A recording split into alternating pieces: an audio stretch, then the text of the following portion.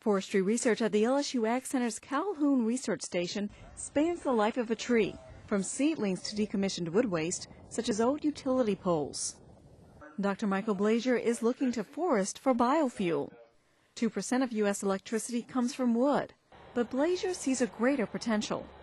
You can produce a high amount of biomass per acre with, with fairly little inputs there in terms of water, nutrition, and, and vegetation control. This gives forest an advantage over other ethanol feedstocks such as food crops like corn.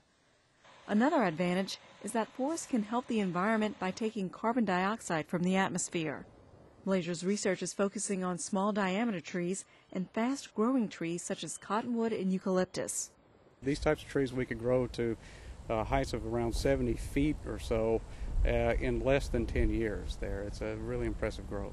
Dr. Hui Pan's research comes in when a wood product has served its purpose. She is working to keep chemically treated wood out of landfills. Using a technique that liquefies wood, she can separate preservative chemicals such as chromated copper arsenate or CCA from wood. During the liquefaction, CCA, the heavy metal, which is the hazardous uh, material in the waste, is being released from wood material into the liquid.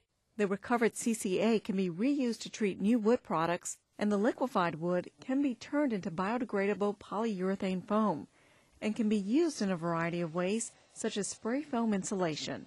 With the LSU Ag Center, this is Tobie Blanchard reporting.